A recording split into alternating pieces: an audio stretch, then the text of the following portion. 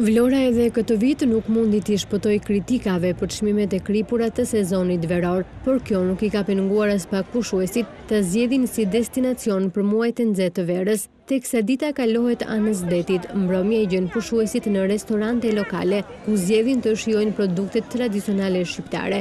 Ashtu si edhe në qytetet e tjera bregdetare, numri më i lartë i turistëve ka qenë nga Italia dhe Polonia. Drejtuesit e bizneseve shprehen se sezoni i ka përmbushur pritshmëritë. Sezoni ka qenë mjaft i mirë, më mirë sesa vitet e kaluara.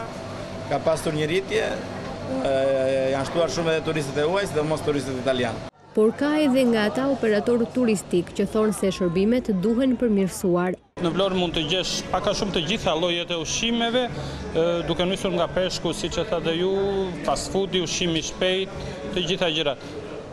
Për sa i përket shërbimit, duhet të rregullohemi disi dhe pse jemi goxha mirë nga viti i kaluar. Lungomarja është zona më e frekuentuar nga turistët në Vlorë, ku operojnë rreth njëqind e gjashtëdhjetë biznese, për t'u ulur në tavolinat e të cilëve, shpesh, gjatë mbrëmjeve, duhet të presësh.